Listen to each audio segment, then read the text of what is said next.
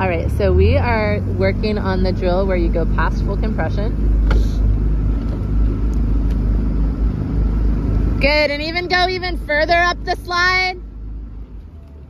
Yeah, even further up the slide, like really exaggerating it. And yeah, that is your full compression. And the way that we know that you're at full compression is because your shins are perpendicular to the slides or to your boat when you catch.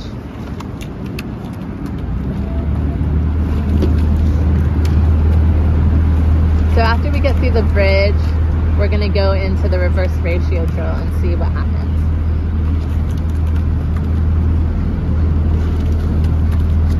Good, so now you're gonna keep on rowing, but you're gonna go into reverse ratio. So again, you're just trying to be like as quick as you can on the recovery. So just rush it. It's not supposed to be pretty and you're gonna get more points for how sloppy it is without flipping. Yeah, good.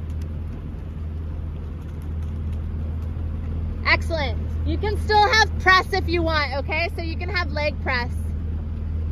So quick, quick, quick, quick, quick, quick, go, go, go. Yeah, beautiful. Quick, quick, quick, get those oars in. Speed it up, speed it up. Beautiful. Good, now try to have equal speeds. Um, so see if you can match it equal speed on the drive and the recovery. I know it's all kind of weird recommendations.